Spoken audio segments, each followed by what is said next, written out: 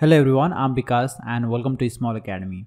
In this video today, we're going to talk about how to upload your Android Studio project into GitHub. So this is really basics video and all of you may not need to watch this video because if you already know how to do that, you don't need to watch it because I'm making this video just to let the people who don't know how to upload their project into GitHub because a lot of people ask me questions in Facebook group and here in the YouTube as well, but when I when I ask them to upload their project on GitHub and send me the link so that I can look into it, they are not really able to do it. So I'm making this video just to share this video with them to them who don't know how to upload their project in GitHub. So we're gonna follow a few simple steps and at the end of this video you will be able to upload your Android Studio project into the GitHub so that you can share that link with me. Okay, so let's go ahead. First, we need few things. One is software called Git and another one is GitHub account. So to be able to use the GitHub, you need to have an account. So go to the GitHub and sign up for new account. Once you are done creating account, just uh, download this software called Git. So you can go to git slash git-scm.com or I'll, I'll leave this link in the description so you can check from there. And you need to download the software from here. So if you are using this on mac linux or windows you can download your variant of software from here. Once the software is downloaded you can install it just by following the instruction given in the installation window. Once you are done with the installation if you go and right click anywhere on the desktop or anywhere you will see these two options here. One is git gui and git bash. Okay? So we're gonna use git bash and uh, i'm gonna show you guys how to upload your project into GitHub using the Git Bash. So once you are able to use this Git Bash option here, just open the Git Bash. So we need to set our global username and email. So make sure that you are using the same email name that you are using in the GitHub. So first I'm gonna set the Git username. So I can use command git config dash dash global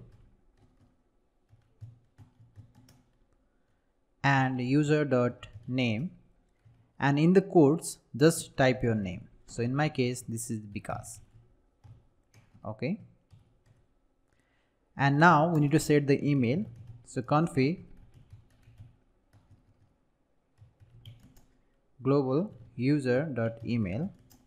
And now type the same email that you have used to create the github account. Okay. So this is my email. I'm gonna hit enter now we can start using this git uh, software to upload the data into the github okay? So i have one test android studio project here. So if i go here and uh, i'm to select one of the project that i have not uploaded into the google. Just select this one.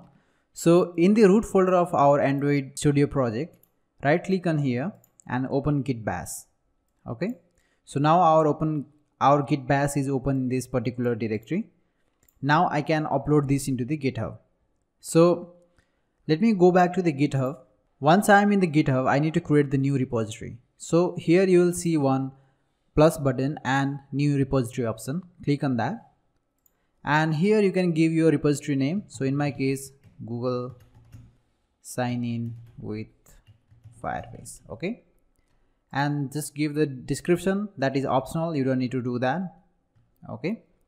Now you can select public or private. Since you are sharing this repository with me just make it as public. And just click on create repository. Do not check this. Initialize with readme. Now the github will give you a few commands that you need to copy from here. So just copy this and go to the git that we have opened in this particular Android Studio project directory.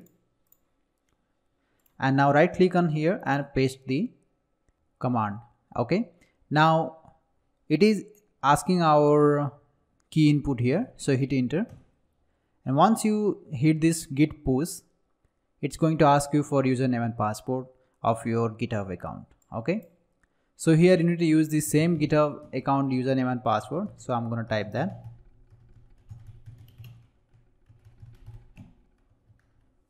Okay. Now we need to log in. Okay. My user uh, login failed. So let me just type it again. Okay. The login is successful here. Now it is writing the objects.